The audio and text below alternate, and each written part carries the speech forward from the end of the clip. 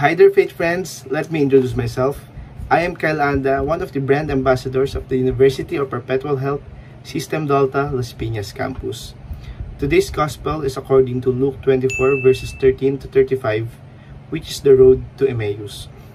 Kung babasahin natin ito, ito ay tungkol sa dalawang alagad ni Jesus kung saan naglalakbay pabalik ng Emmaus mula sa Jerusalem dahil nawalan na sila ng pag-asa sa kanilang natunghayan. Ngunit sa di nila inaasahan, makakasabay nila si Jesus sa kanilang paglalakbay at malalaman na nabuhay nga muli si Jesus at dahil dyan magkakaroon ulit sila ng pag-asa.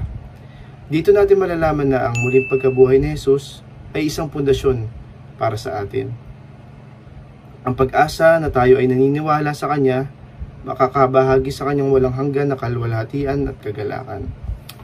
Ang pag-asa na ito ay mag- magsisilbing gabay sa atin na laging andyan si Jesus sa ating tabi na kahit anumang maranasan natin na pagsubok o problema, uh, andyan lagi siya.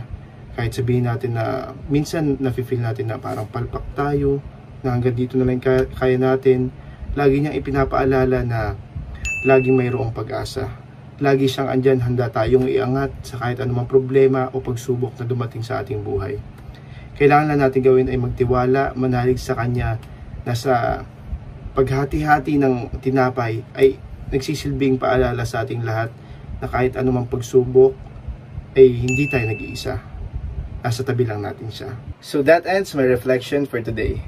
Thank you so much and God bless us all. So I invite all of you guys to please subscribe on Facebook PH YouTube channel and also download the Facebook app or visit and register at www.facebook.ph. Thank you so much and God bless. God first!